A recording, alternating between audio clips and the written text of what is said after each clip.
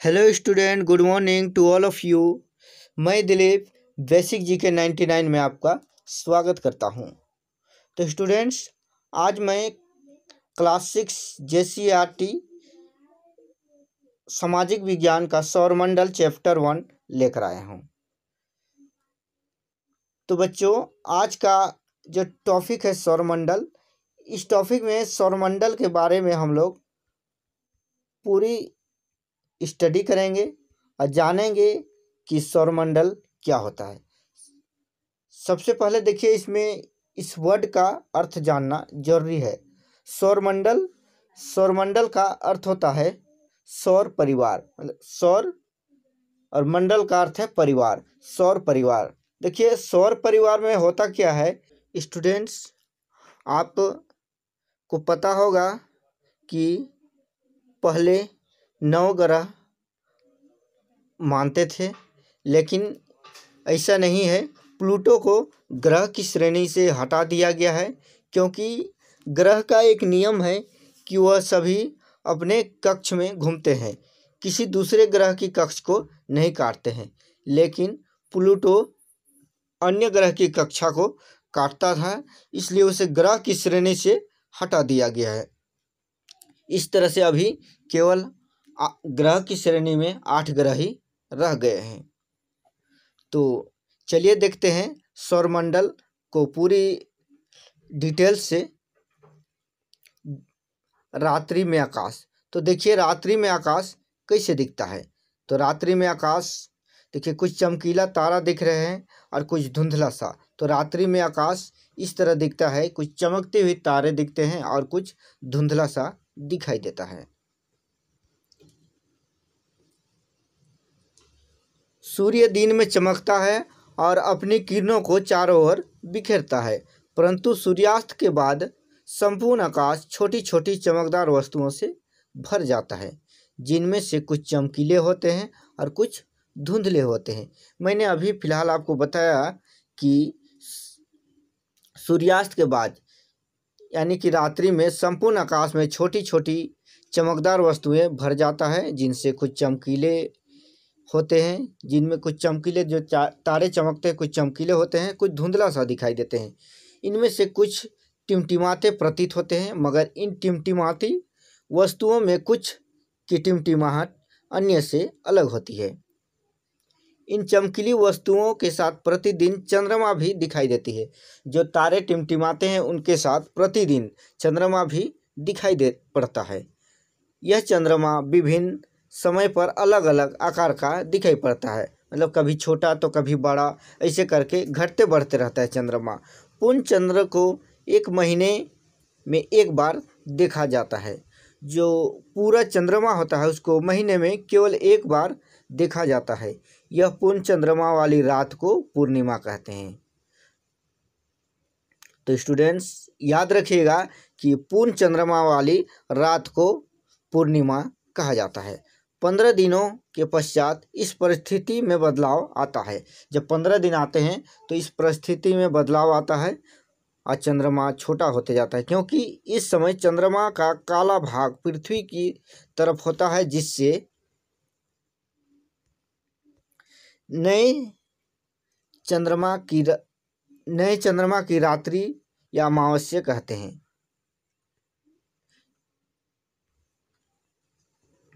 अमावस्या की रात में अवलोकन तभी हो सकता है जब आसमान साफ़ हो।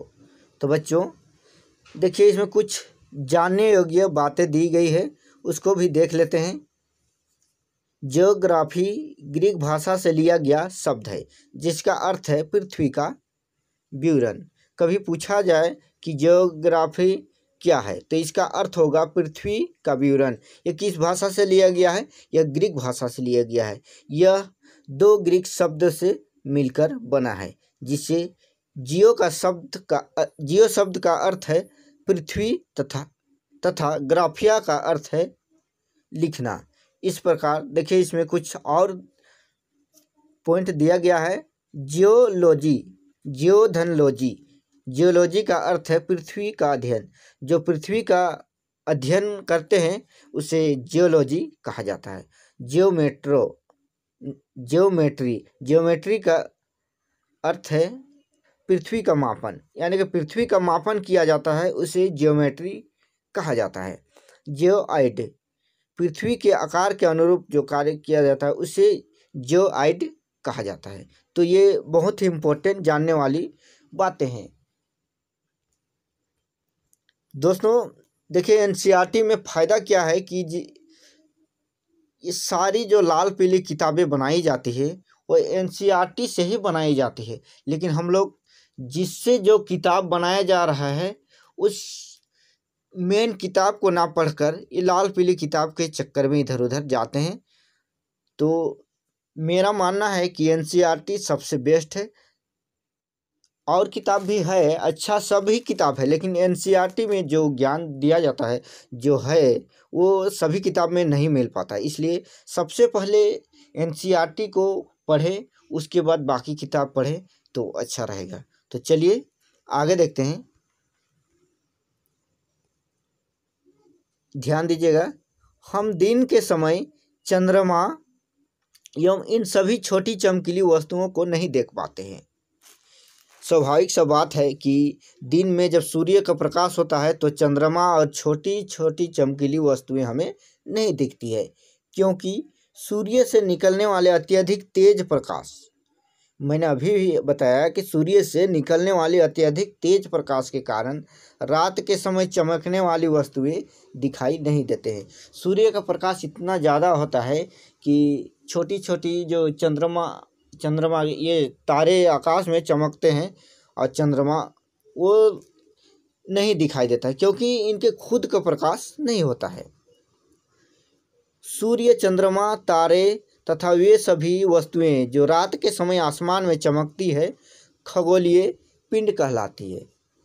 गौर करिएगा, सूर्य, चंद्रमा, तारे तथा वे सभी वस्तुएँ जो रात के समय आसमान में चमकती है, खगोलीय पिंड कहलाती है। नोट करते जाइएगा और नोट नहीं कर रहे हैं तो स्क्रीनशॉट ले लीजिएगा। ये बहुत ही अच्छी पॉइंट है। हमारी पृथ्वी भी इसी खगोलीय पिंड का एक भाग है। हमारी जो पृथ्वी है, जिसमें हम रह रहे हैं, ये भी एक खगोलीय पिंड का भाग है। ये सारे खगोलीय पिंड क्रमशः तारे, ग्रह, उपग्रह एवं क्षुद्र ग्रह के समूह में बटे हुए हैं। कुछ खगोलीय पिंड बड़े आकार के साथ साथ गर्म भी होते हैं। कुछ खगोलीय पिंड जो होते हैं, वे बहुत बड़े आकार के होते हैं, साथ ही साथ बहुत गर्म भी होते हैं। ये गैसों से बने होते हैं। इनके पास अपनी उष्मा तथा प्रकाश होता है, जिसे वे उत्सर्जित करते रहते हैं। इन खगोलीय पिंडों को तारा कहते हैं। इस तरह के जो गैसों के बने होते हैं और अपनी उष्मा व प्रकाश होता है जिससे वो उत्सर्जित करते रहते हैं, इन खगोलीय पिंडों को तारा कहते हैं, जिसे सूर्य भी एक तारा है। नेक्स्ट देखते हैं।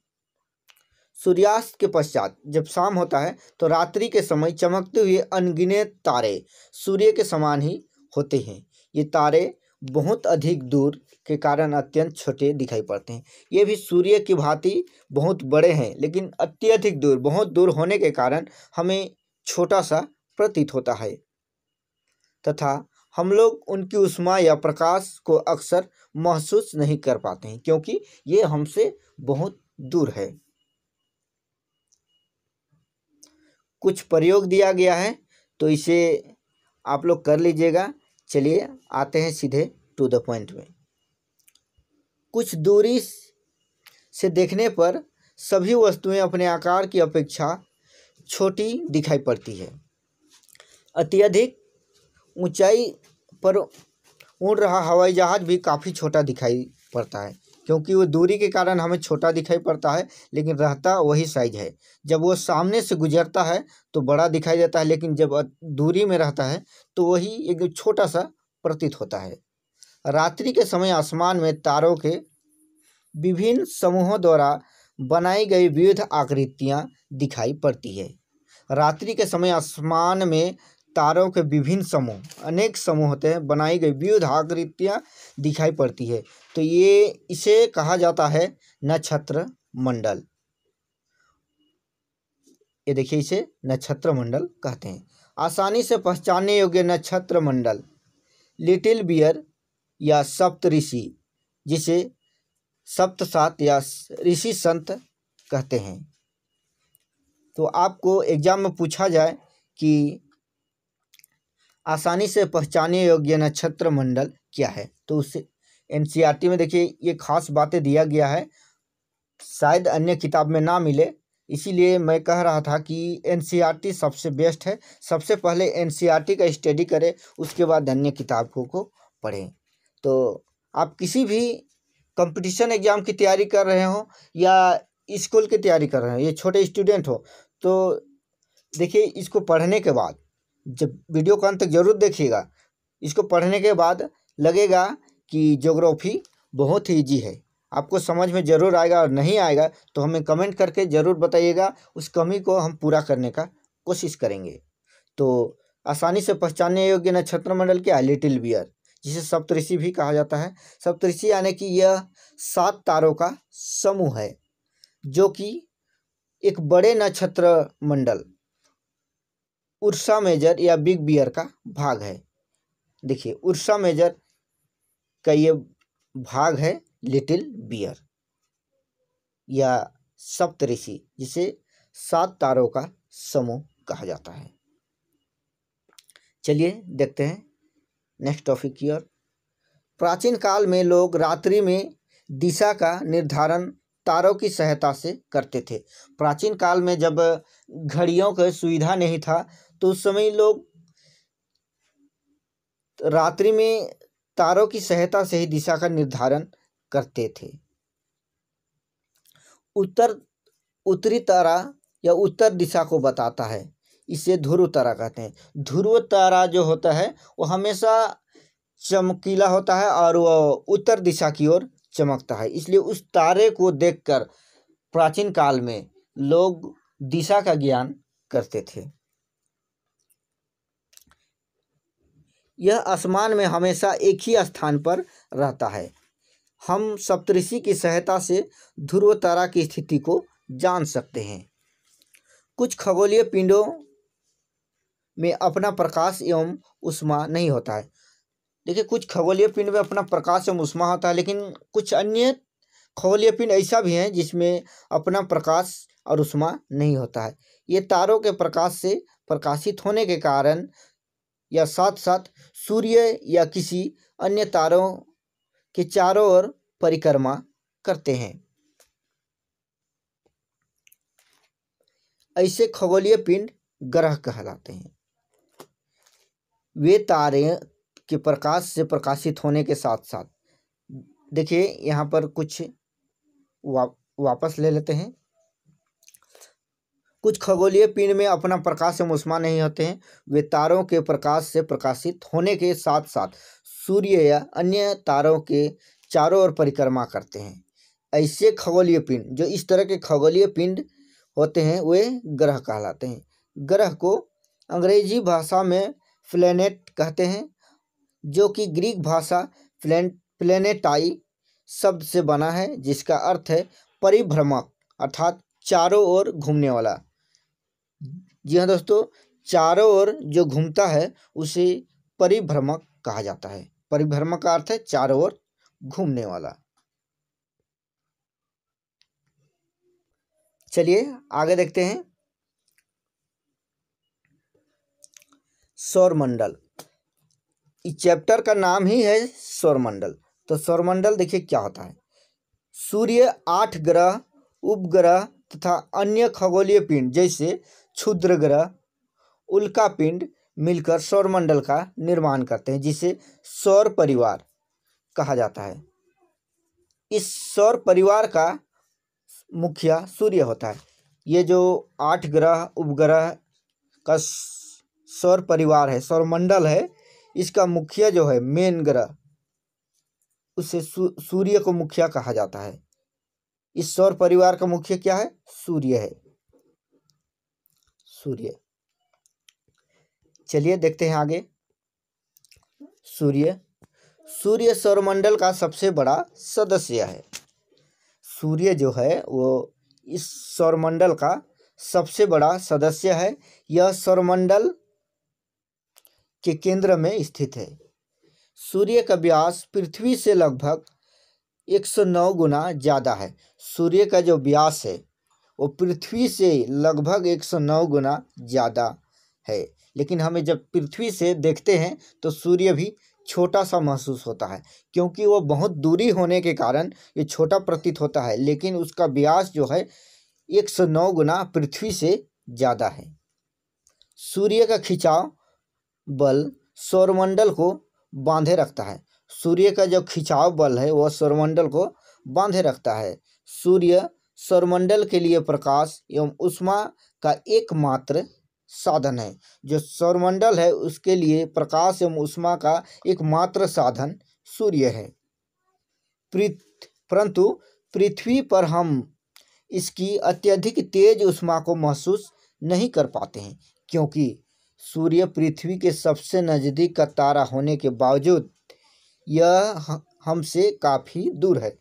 सूर्य पृथ्वी का नज़दीक का तारा तो है ही, लेकिन सूर्य जो है, वो पृथ्वी से काफ़ी दूर है, जिसके कारण इसके तेज उष्मा हमें महसूस नहीं होता है। पृथ्वी सूर्य से लगभग पंद्रह करोड़ किलोमीटर दूर है। ये देखिए, यहाँ पर ध्यान देने वाली बात है कि सूर्य पृथ्वी से लगभग पंद्रह करोड़ किलोमीटर दूर है। तो बच्चों, यहाँ या दोस्तों, देखिएगा तो दोस्तों, यहाँ ध्यान दीजिएगा कि कुछ जानने योग्य बातें दिया गया है, इसको भी देख लेते हैं। सूर्य से निकलने वाली ऊर्जा छोटा सा भाग मात्र दो अरबवा हिस्सा ही पृथ्वी पर पहुँचती है। सूर्य से निकलने वाली ऊर्जा छोटा सा भाग मात्र दो अरबवा हिस्सा ही पृथ्वी पर पहुँचती है। सूर्य से प्राप्त ऊर्जा का अड़तालीस प्रतिशत वायुमंडल को गर्म करने के काम में आता है। शेष ऊर्जा अंतरिक्ष में परावर्तित हो जाती है। ये देखिए, बहुत ही इम्पोर्टेंट बातें यहाँ पर दी गई है, जिससे अन्य किताब में हो सकता है ये ना मिले। चलिए देखते हैं।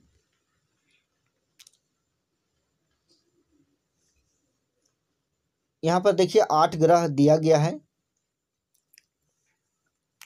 यहाँ पर सूर्य है बुध, शुक्र, पृथ्वी, मंगल, बृहस्पति, शनि, यूरेनस, इस तरह से आठ ग्रह दिया गया है। प्लूटो को ग्रह की श्रेणी से हटा दिया गया है। तो चलिए, ये सौरमंडल का जो परिवार है, यहाँ पर तो दिया गया है। आगे देखते हैं क्या? सूर्य ऊर्जा का शक्तिशाली भंडार है। इसमें मुख्य रूप से नाइट्रोजन और हीलियम गैसों का एक विशाल भंडार है। सूर्य जो बना है, हाइड्रोजन और हीलियम गैसों का एक विशाल भंडार है। इसे भी याद रखिएगा। ग्रह। तो देखते हैं ग्रह। हमारे सौरमंडल में आठ ग्रह हैं। मैंने बताया था, अभी फ़िलहाल बताया कि हमारे सौरमंडल में आठ ग्रह हैं। आठ ग्रह से मिलकर सौर परिवार का निर्माण हुआ है। ये सूर्य से दूरी के अनुसार क्रमशः दो एग्ज़ाम में आपको पूछा जाए कि सूर्य से दूरी के क्रम में, या तो दूरी के अनुसार क्रमशः ग्रह बताएँ। तो देखिए, बुध सबसे नज़दीक है। शुक्र, पृथ्वी, मंगल, बृहस्पति, यूरेनस, शनि, यूरेनस, नेपच्यून। ये दूरी के अनुसार ग्रह दिया गया है। आकार के अनुसार ग्रहों का सबसे बड़े से छोटा क्रम इस प्रकार है। अगर आकार के क्रम में दिया जाए तो देख, बृहस्पति सबसे बड़ा ग्रह है, फिर उससे छोटा शनि, यूरेनस, नेपच्यून, पृथ्वी, शुक्र, मंगल, बुध। इस तरह से देख लीजिए यहाँ पर आकार के अनुसार और दूरी के अनुसार ये आठ ग्रह को दर्शाया गया है। ग्रहों को आकार एवं दूरी के अनुसार आंतरिक ग्रह एवं बाह्य ग्रह में बांटा गया है। जो ग्रह है, उसे दूरी के अनुसार आंतरिक ग्रह और बाह्य ग्रह में बांटा गया है। बुध, शुक्र, पृथ्वी और मंगल आंतरिक ग्रह है। आपको परीक्षा में पूछा जाए कि अंतरिक्ष ग्रह कौन कौन है तो आप तुरंत बताइएगा कि बुध, शुक्र, पृथ्वी और मंगल आंतरिक ग्रह हैं। ये सूर्य से नज़दीक हैं। ये जो चार ग्रह हैं, बुध, शुक्र, पृथ्वी और मंगल आंतरिक ग्रह हैं, ये सूर्य से नज़दीक हैं और आकार में छोटे हैं तथा चट्टानों से बने होने के कारण काफ़ी ये भारी है। बृहस्पति, शनि, यूरेनस और नेपच्यून बाह्य ग्रह है। ये चार ग्रह चार ग्रह आंतरिक ग्रह और चार जो है वो बाह्य ग्रह हैं। बृहस्पति, शनि, यूरेनस और नेपच्यून ये बाह्य ग्रह हैं। ये सूर्य से दूर स्थित हैं। आकार में बड़े और गैसों से बने होने के कारण ये हल्के हैं। जो आंतरिक ग्रह हैं, वो चट्टानों से बने हुए हैं और बाह्य ग्रह हैं, वे गैसों से बने हुए हैं, जिसके कारण ये हल्के हैं। सौरमंडल के सभी आठ ग्रह एक निश्चित पथ पर सूर्य का चक्कर लगाते हैं। सौरमंडल का जितने भी आठ ग्रह हैं, वे अपने एक निश्चित पथ पर चक्कर लगाते हैं। प्लूटो को भी पहले ग्रह माना जाता था, लेकिन वो निश्चित पथ पे चक्कर नहीं लगाता था, वो किसी अन्य ग्रह का जो कक्ष होते हैं, उस कक्षा होता था, उसको काटता था, इसलिए उसे ग्रह की श्रेणी से हटा दिया गया है। तो देखिए, ये जितने ग्रह हैं, वे अपने एक निश्चित पथ पर चारों ओर चक्कर लगाते हैं। सूर्य के का चक्कर लगाते हैं। ये रास्ते दीर्घ वृत्ताकार ये रास्ते जो हैं, वह दीर्घ वृत्ताकार हैं। ये कक्षा कहलाते हैं। जो मैंने अभी बताया कि जो चारों ओर चक्कर लगाते हैं, जिसका ये रास्ते वह दीर्घ वृत्ताकार हैं और इसी दीर्घ वृत्ताकार को कक्षा कहते हैं। चलिए, आगे देखते हैं।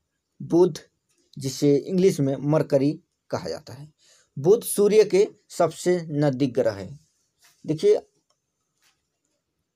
बहुत सारे ये यहाँ पर आपका डाउट क्लियर होने वाला है और प्रश्न तो आसानी से सॉल्व होगा। इस वीडियो में हम लोग डिटेल से तो पढ़ रहे हैं, साथ ही साथ इससे जुड़े प्रश्न और इसके आंसर भी हम लोग सॉल्व करेंगे। तो देखिए वीडियो को अंतिम तक ज़रूर देखिएगा। वीडियो अच्छा लग रहा है तो प्लीज़ दोस्तों को भी शेयर कर दीजिएगा। बुध सूर्य के सबसे नज़दीक ग्रह है। यह आकार में सबसे छोटा ग्रह है। अपनी कक्षा में सूर्य के चारों ओर एक चक्कर लगाने में केवल अट्ठासी दिन लगते हैं। बुध को अपनी कक्षा में सूर्य के चारों ओर चक्कर लगाने में केवल अट्ठासी दिन लगते हैं।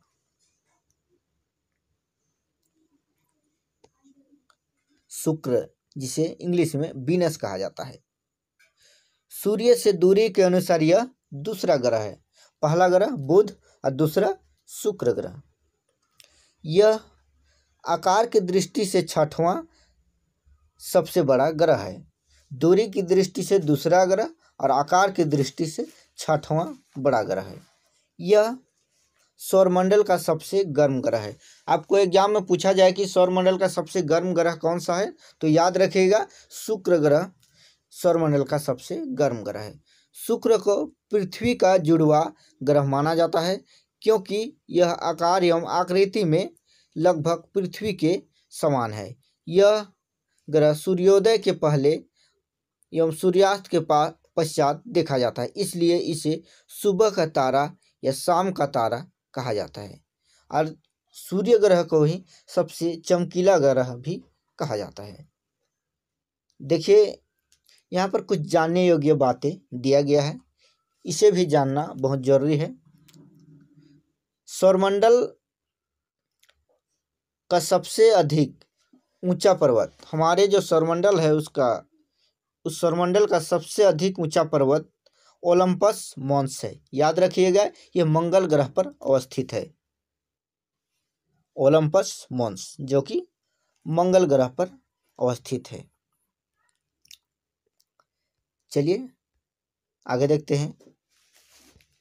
मंगल, जिसे मार्स कहा जाता है।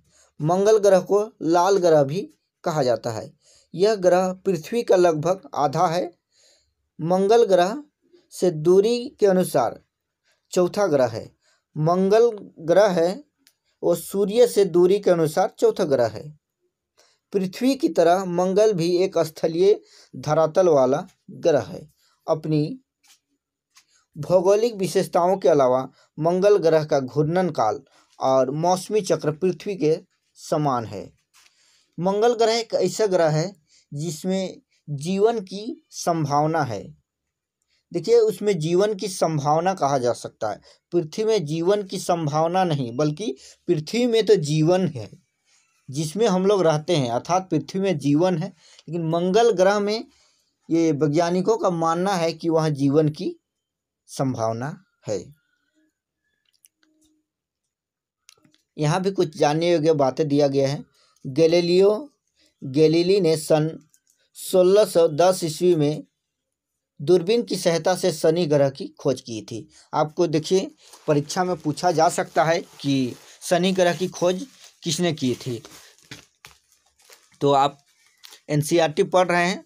आपसे उम्मीद रखते हैं कि ऐसा प्रश्न का जवाब आप जल्दी से दे पाएँ। गैलीलियो, गैलीली ने सन 1660 सॉरी 1610 ईस्वी में दूरबीन की सहायता से शनि ग्रह की खोज की थी। नेक्स्ट देखते हैं। देखिए, बृहस्पति या जुपिटर ग्रह के बारे में जानते हैं, चलिए।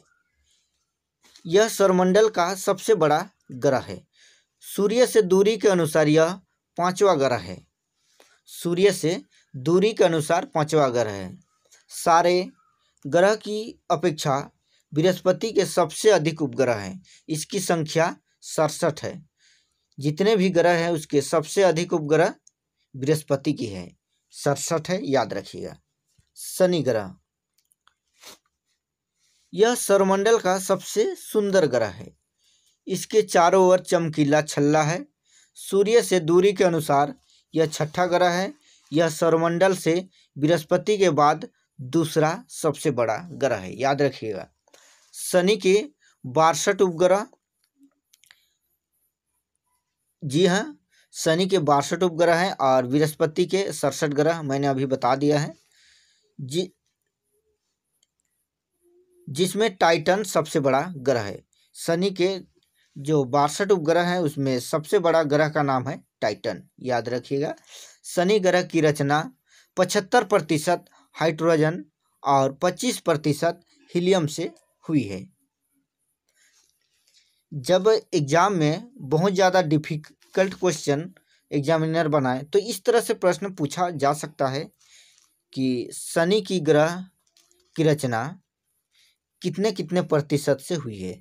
तो इसमें आप पढ़ रहे हैं एनसीईआरटी तो उम्मीद करते हैं कि इस तरह के प्रश्न का जवाब आप दे दे सकते हैं। पच, पचहत्तर प्रतिशत हाइड्रोजन और पच्चीस प्रतिशत हीलियम। जल, मीथेन, अमोनिया और पत्थर बर्फ़ के रूप में यहाँ बहुत कम मात्रा में पाए जाते हैं। यूरेनस। यूरेनस भी चारों ओर से छल्ला है। सूर्य से दूरी के अनुसार यह सातवां ग्रह है। आकार की दृष्टि से यह तीसरा बड़ा ग्रह है। विलियम हर्सल ने यूरेनस की खोज की थी। याद रखिएगा, बहुत ही इम्पोर्टेंट टॉपिक है। विलियम हर्सल ने यूरेनस की खोज की थी। अब नेपच्यून के बारे में जानते हैं। यह आकार और बनावट में सूर्य के सॉरी यह आकार और बनावट में यूरेनस के समान है। आकार की दृष्टि से यह चौथा बड़ा ग्रह है। अभी तक प्लूटो भी एक ग्रह माना जाता था। मैंने पहले बता दिया है कि प्लूटो को भी एक ग्रह माना जाता था, परंतु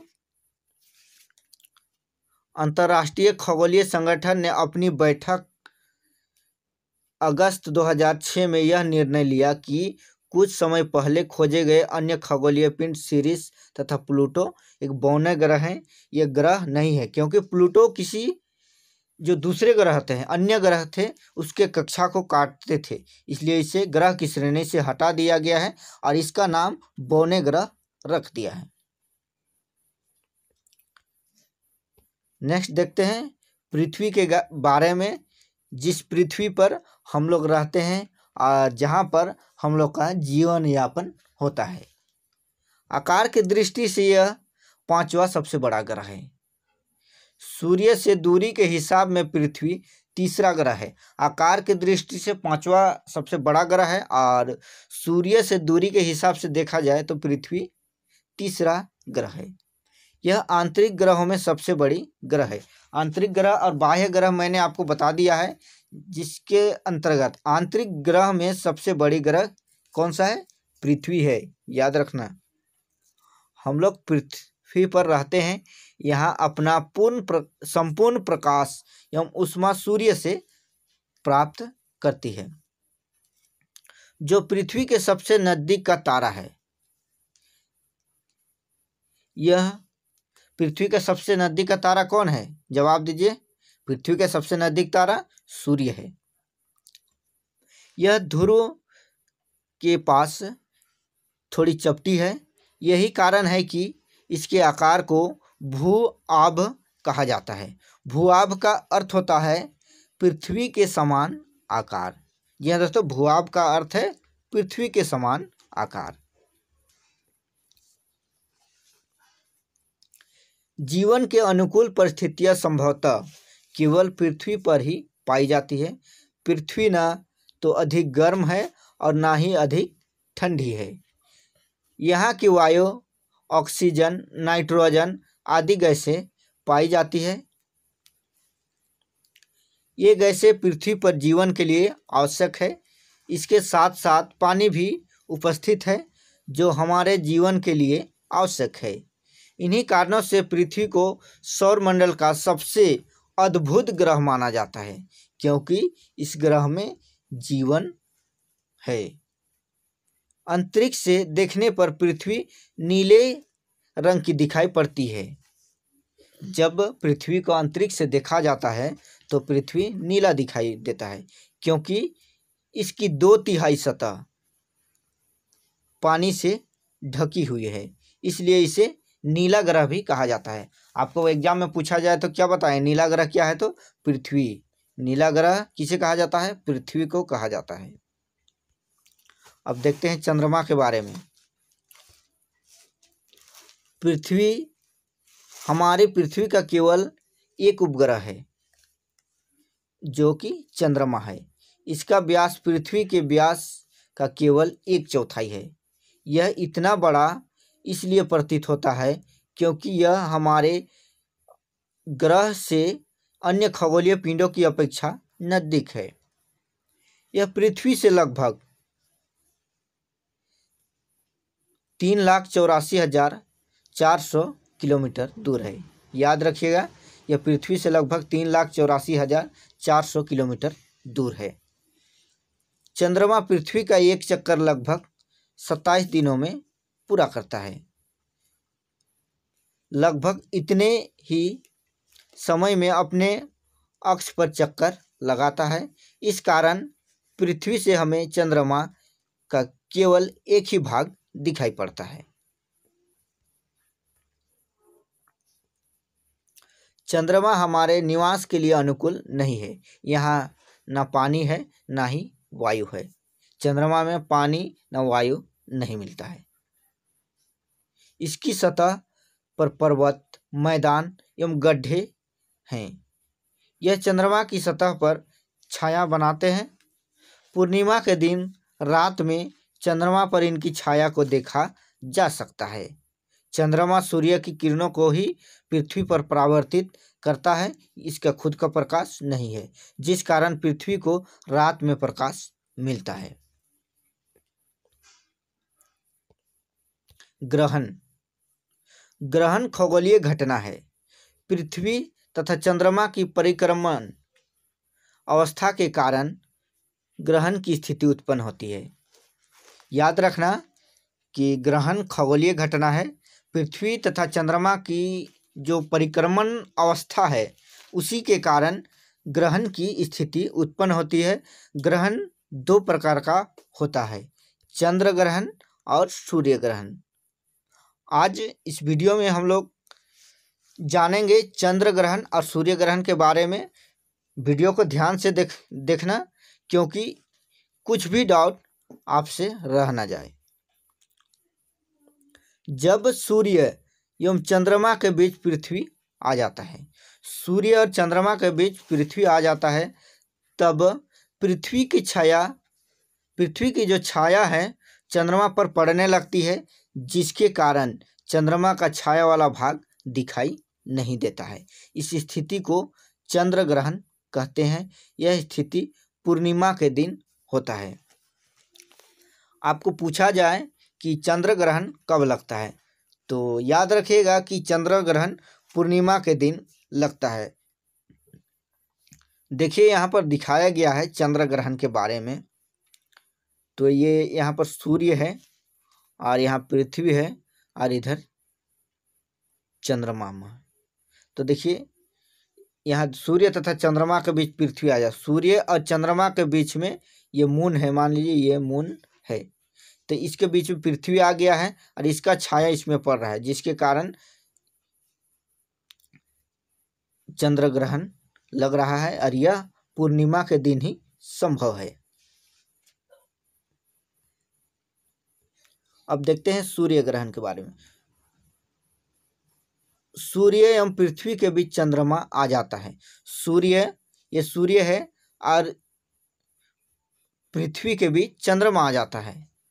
सूर्य और पृथ्वी के बीच चंद्रमा आ जाता है।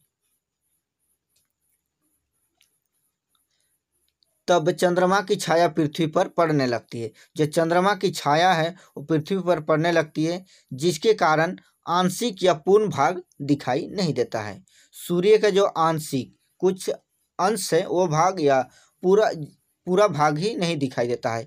इस स्थिति को सूर्य ग्रहण कहते हैं। यह स्थिति अमावस्या के दिन संभव है। जो सूर्य ग्रहण है, वो अमावस्या को होता है और चंद्र ग्रहण पूर्णिमा के समय होता है। देखिए, यहाँ पर दिया गया है चंद्र ग्रहण और सूर्य ग्रहण के बारे में यहाँ पर बताया गया है। यहाँ सूर्य है, यहाँ चंद्रमा है, जिसकी छाया पृथ्वी पर पड़ रहा है, जिसके कारण सूर्य ग्रहण लगा हम लोग, जिसको सूर्य ग्रहण लग रहा है हम लोग कहते हैं। सूर्य ग्रहण के, देखिए, सूर्य और पृथ्वी के बीच चंद्रमा आता है तो सूर्य ग्रहण लगता है। और सूर्य और चंद्रमा के बीच पृथ्वी आ जाता है, और इसका छाया चंद्रमा पर पड़ता है तो चंद्र ग्रहण लगता है। तो उम्मीद है कि आपको ये बातें समझ में आ गया होगा। तो चलिए आगे बढ़ते हैं। कुछ जानने योग्य बातें दिया गया है, इसको भी देख लेते हैं। सूर्य पृथ्वी की दूरी लगभग पंद्रह करोड़ किलोमीटर है। प्रकाश की गति तीन लाख किलोमीटर प्रति सेकंड है। इस गति के बावजूद सूर्य के प्रकाश को पृथ्वी तक पहुँचने में लगभग आठ मिनट का समय लगता है, जबकि चंद्रमा से पृथ्वी तक परावर्तित प्रकाश को आने में एक दशमलव तीन सेकेंड का समय लगता है। ये भी मोस्ट इम्पोर्टेंट बात दिए गए हैं, इसे भी आप याद कर लें। चलिए आगे देखते हैं क्षुद्र ग्रह के बारे में। क्षुद्र ग्रह क्या होता है? तारों, ग्रहों और उपग्रहों के अतिरिक्त असंख्य छोटे खगोलीय पिंड सूर्य के चारों ओर चक्कर लगाते हैं। इन पिंडों को क्षुद्र ग्रह कहते हैं। यह आकार में ग्रहों से छोटे एवं उल्का पिंडों से बड़े होते हैं। यह मंगल एवं बृहस्पति की कक्षाओं के बीच पाए जाते हैं। वैज्ञानिकों के अनुसार क्षुद्र ग्रह ग्रह के ही भाग हैं। वैज्ञानिकों के मानना है कि क्षुद्र ग्रह ग्रह के ही भाग हैं। जो कई वर्ष पहले विस्फोट के बाद ग्रहों से टूटकर अलग हो गए हैं। यह देखिए, यहाँ पर क्षुद्र ग्रह दिया गया है। यह है क्षुद्र ग्रह। अब उल्का पिंड क्या होता है, उसको भी देखते हैं।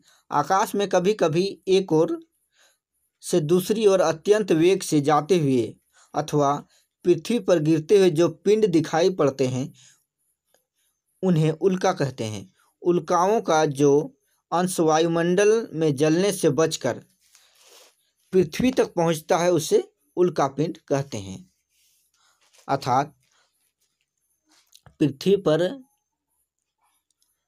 गिरते हुए जो पिंड दिखाई पड़ते हैं, जो पृथ्वी तक नहीं पहुँचते हैं, उसे उल्का कहते हैं। और जो उल्काओं का जो अंश वायुमंडल में जलने से बचकर पृथ्वी तक पहुँचता है, उसे उल्का पिंड कहते हैं। देखिए, यहाँ पर भी कुछ जानने योग्य बातें दिया गया है, उसको भी देख लेते हैं। क्षुद्र ग्रह पट्टी में 945 किलोमीटर के व्यास वाला सिरिस सिरिस नामक एक बौना ग्रह है, जो अपने स्वयं के गुरुत्वाकर्षण बल के कारण गोल आकार का पा चुका है। आगे देखते हैं। आकाश गंगा यहाँ पर देखिए आकाश गंगा का चित्र दिया गया है। खुले आकाश में एक ओर से दूसरी ओर तक फैली चौड़ी सफ़ेद पट्टी लाखों तारों का समूह है। यह पट्टी आकाश गंगा कहलाती है। खुले आसमान में एक ओर से दूसरी ओर तक फैली जो चौड़ी पट्टी लाखों तारों का समूह बना हुआ है, यह पट्टी आकाश गंगा कहलाती है। हमारा सौरमंडल आकाश गंगा का एक भाग है। हमारा जो सौरमंडल है, वो आकाश गंगा का एक भाग है। प्राचीन भारत में इसकी कल्पना आकाश में प्रकाश की एक बहती हुई नदी से की गई थी। इस प्रकार इसका नाम आकाश गंगा पड़ा। आकाश गंगा के आकार का अनुमान इस बात से लगाया जा सकता है कि अगर हमारे पूरे सौरमंडल के चक्र क्षेत्रफल को एक रुपये के सिक्के जितना समझ लिया जाए तो इसकी तुलना में आकाश गंगा का क्षेत्रफल भारत का क्षेत्रफल का लगभग डेढ़ गुना है। अगर हमारे पूरे सौरमंडल के चक्र को एक रुपये के सिक्के जितना समझ लिया जाए मान लीजिए। तो इसकी तुलना से आकाश गंगा का क्षेत्रफल भारत के क्षेत्रफल का लगभग डेढ़ गुना होगा।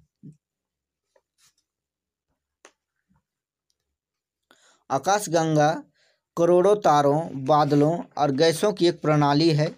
इस प्रकार की लाखों आकाश गंगाएँ मिलकर ब्रह्मांड का निर्माण करती है। ब्रह्मांड की विशालता की कल्पना करना अत्यधिक कठिन है। वैज्ञानिक अभी भी इसके बारे में अधिक से अधिक जानकारी एकत्र कर रहे हैं। ये आकाश गंगा के बारे में हमने अभी देखा। अब देखते हैं उपग्रह। उपग्रह एक खगोलीय पिंड है, जो ग्रहों के चारों ओर उसी प्रकार चक्कर लगाता है, जिस प्रकार ग्रह सूर्य के चारों ओर चक्कर लगाते हैं।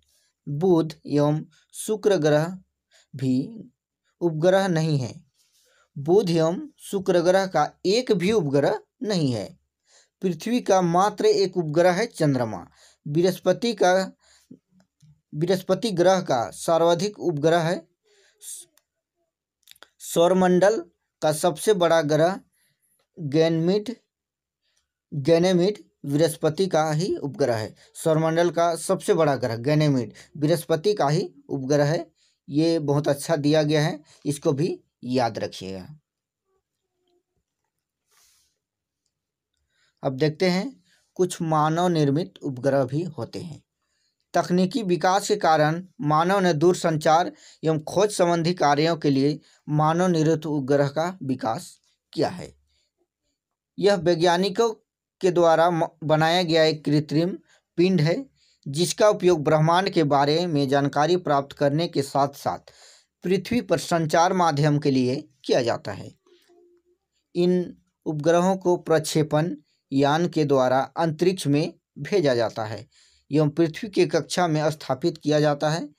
अंतरिक्ष में उपस्थित कुछ भारतीय उपग्रह INSAT, EDUSAT I R S S इत्यादि आई आर एस इत्यादि। भारत द्वारा चंद्रमा के बारे में अधिक जानकारी जुटाने के लिए 2008 ईस्वी में चंद्रयान प्रथम तथा 2019 में चंद्रयान द्वितीय का प्रक्षेपण किया गया है। इन मानव निर्मित उपग्रहों का उपयोग radio, television, telephone, mobile, internet आदि सेवाओं में किया जाता है। इसके साथ साथ सैन्य प्रयोजन के लिए भी इन उपग्रहों का प्रयोग किया जाता है। तो उम्मीद करता हूँ कि मानव निर्मित उपग्रह भी आपको समझ में आ गया होगा। यहाँ देखिए, यहाँ पर कुछ जानने योग्य बातें दिया गया है, उसको भी देख लेते हैं। पृथ्वी का पहला मानव निर्मित कृत्रिम उपग्रह, अस्पुतनिक वन। सोवियत संघ रूस, वर्तमान के रूस के द्वारा चार अक्टूबर उन्नीस सौ सत्तावन को छोड़ा गया था। स्पुतनिक वन, ये सोवियत संघ। वर्तमान में जिसे रूस के नाम से जानने जा, जाना जाता है के द्वारा, रूस के द्वारा चार अक्टूबर उन्नीस सौ सत्तावन को छोड़ा गया था।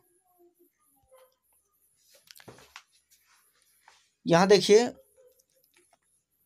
कुछ प्रमुख शब्द दिया गया है, जिसे आप स्क्रीनशॉट लेकर याद कर सकते हैं। अब कुछ अब इस पाठ से जुड़ी कुछ प्रश्न को भी देख लेते हैं। पहला देखिए इसमें, रिक्त स्थानों की पूर्ति कीजिए में क्षुद्र ग्रह, यहाँ पर दिया गया क्षुद्र ग्रह। तो अभी हमने पढ़ा कि क्षुद्र ग्रह जो है, वो मंगल ग्रह मंगल ग्रह और बृहस्पति की कक्षाओं के बीच पाया जाता है। तो यहाँ पर मंगल और यहाँ बृहस्पति आप भर लीजिएगा। सूर्य से सबसे नज़दीक ग्रह सूर्य से सबसे नज़दीक ग्रह कौन है? बुध। सूर्य से सबसे नज़दीक ग्रह बुध ग्रह है। सौर मंडल का सबसे बड़ा ग्रह कौन है? सौर मंडल का सबसे बड़ा ग्रह बृहस्पति। ध्रुव तारा से हमें क्या पता चलता है? ध्रुव पता से? ध्रुव तारा से क्या पता चलता है? ध्रुव तारा से हमें उत्तर दिशा का पता चलता है। तो इस तरह से आप जब इस वीडियो को पूरे अच्छे तरह से ध्यान से देखा होगा तो यह प्रश्न कुछ भी नहीं है। इसे आप आसानी से सॉल्व कर सकते हैं। देखिए दूसरा नंबर भी देखते हैं यहाँ पर, ठीक इसी तरह से। सूर्य का तीसरा सबसे नज़दीक ग्रह कौन सा है? मैंने अभी पढ़ा दिया है कि सूर्य का सबसे तीस, तीसरा सबसे नज़दीक ग्रह कौन सा है? पृथ्वी है सूर्य का सबसे, तीसरा सबसे नज़दीक ग्रह। सूर्य से पृथ्वी पर आकाश आने में कितना समय लगता है? तो मैंने पढ़ाने के क्रम में आपको बताया कि सूर्य से पृथ्वी पर प्रकाश आने में आठ मिनट का समय लगता है। पृथ्वी का आकार कैसा है? तो पृथ्वी का आकार भूआब है। पृथ्वी का आकार कैसा है? भूआब है पृथ्वी का आकार। तो आज का वीडियो में इतना ही। वीडियो कैसा लगा, कमेंट करके ज़रूर बताइएगा। और इस तरह का सीरीज़ अब रेगुलर लाया जाएगा तो आप भी सपोर्ट करिए। तो मिलते हैं नेक्स्ट वीडियो में।